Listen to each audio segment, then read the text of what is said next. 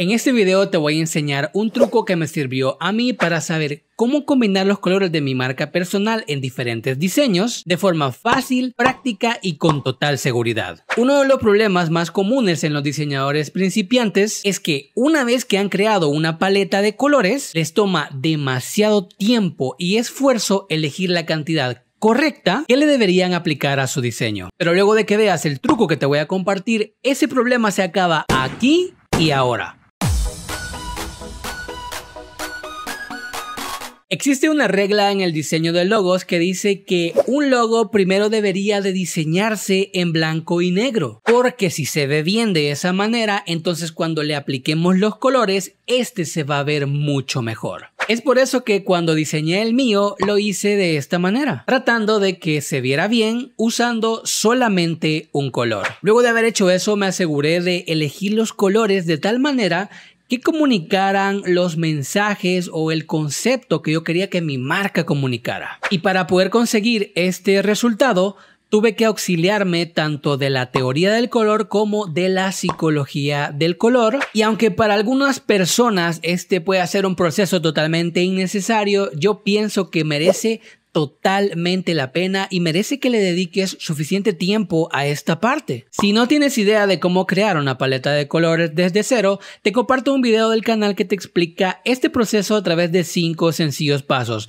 Te lo dejo aquí abajo en la descripción de este video. Una vez yo ya tenía creada mi paleta de colores, apliqué una regla que nace en el diseño de interiores llamada la regla 60-30-10. Si no sabes qué es eso, también te dejo en la descripción un video donde te lo explico desde cero con una gran variedad de ejemplos para que te quede claro. El chiste con esta regla es que tienes que decidir cuál o cuáles colores van a ser distribuidos en tu diseño dependiendo el porcentaje de color que le estés asignando. En mi caso decidí que el color primario tendría que ser esta especie de azul oscuro, el cual ocuparía un 60% en todos mis diseños. También decidí que como colores secundarios yo quería el celeste y el blanco para que ocupasen un 30% entre los dos en todos mis diseños. Y finalmente decidí que el color acento o accent sería este naranja que iba a ocupar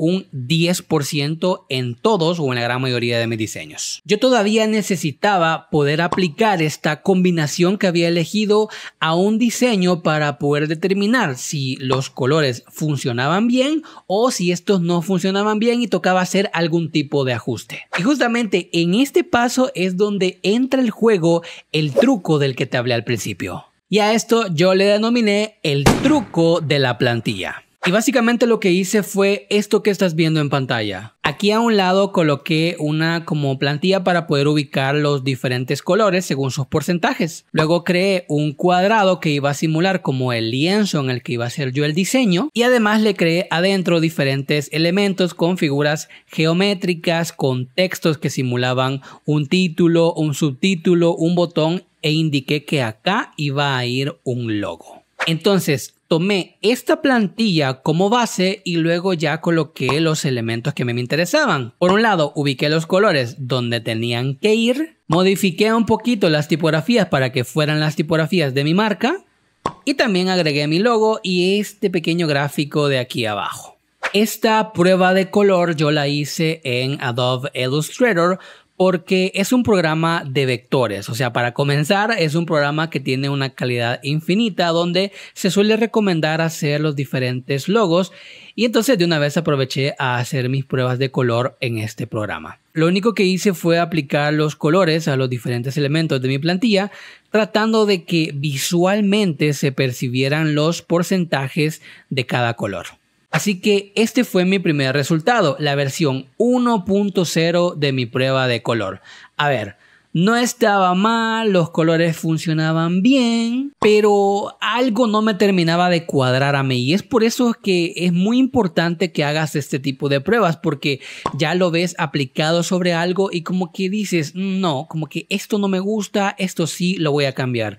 Y es así como nació la versión 2.0 de mi prueba de color donde lo único que hice fue cambiar, por ejemplo, aquí estaba el celeste ubicado en el 30%, pero lo que hice fue que lo moví a un 10% y el naranja lo moví al 30%. Prácticamente intercambié esos colores. Y así fue como esta parte de abajo la terminé haciendo de color naranja y estos dos elementos de acá también. Y lo único que quedó de celeste es esta figura geométrica de aquí. Ya te digo, esta fue una decisión personal que de no haber hecho estas pruebas yo no hubiese podido descubrirlo. Es más, estas no son las únicas pruebas que hice. Hice tres pruebas más. Y estos experimentos me ayudaron a darme cuenta de qué colores sí funcionaban para mi marca personal y qué colores no. Y de esa manera fue como terminé eligiendo dos versiones ganadoras para aplicar en todos los diseños que vendrían más adelante en mi marca personal. Estas dos plantillas eran lo único que yo necesitaba para hacer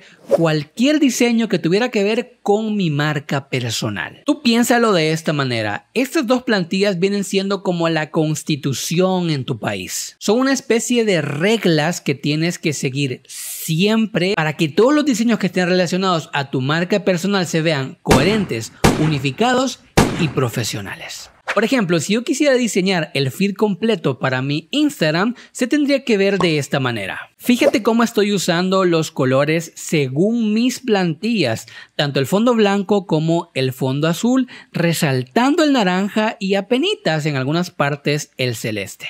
Lo mismo aplica si tengo que diseñar un banner para Facebook y sus diferentes publicaciones. Lo mismo pasaría si por ejemplo hago un curso en línea, si creo un texto que aparezca en los videos o si regalo algún recurso gratis. Las propias miniaturas de los videos de mi canal siguen también las reglas de color que definí con esas plantillas. Es más, el nuevo curso en el que estoy trabajando en este preciso momento sigue estas reglas de color en las diferentes presentaciones. O sea, no solo es en esta que ves, es en todas y estas están perfectamente unificadas. Ahora bien, ¿por qué te estoy enseñando todos estos ejemplos? Porque quiero que entiendas una cosa, que no importa el lugar en el que tú vayas a ver, por ejemplo, mi marca personal, ya sea que lo veas en YouTube, en TikTok, en Instagram, en mi sitio web, en mi newsletter, da igual donde la veas siempre vas a ver aplicados los mismos colores. Automáticamente en la mente de otras personas han sucedido dos cosas. La primera es que ya me saben diferenciar del resto de canales que pueden ver en YouTube o que pueden ver en cualquier otra plataforma. Y lo segundo que ha pasado es que en su mente ya me perciben como alguien hace su trabajo de forma profesional. En resumen, mi logo empezó en blanco y negro. Luego de un proceso de cinco pasos sencillos, logré crear la paleta de colores para este logo. Acto seguido, apliqué la regla 60-30-10 que luego utilicé para crear mis pruebas de color y tener las plantillas de color definitivas para mi marca, para luego poder aplicar estas reglas en todos los diseños donde las personas pudieran tener algún punto de contacto conmigo, ya sea en Facebook, YouTube, Instagram, en todas partes. Y todo esto con la finalidad de que mi marca se pueda percibir como algo coherente, profesional y confiable. Si quieres profundizar en alguno de los pasos que vimos en este video, te invito a que veas estos videos de aquí. Nos vemos en el siguiente video. Chao.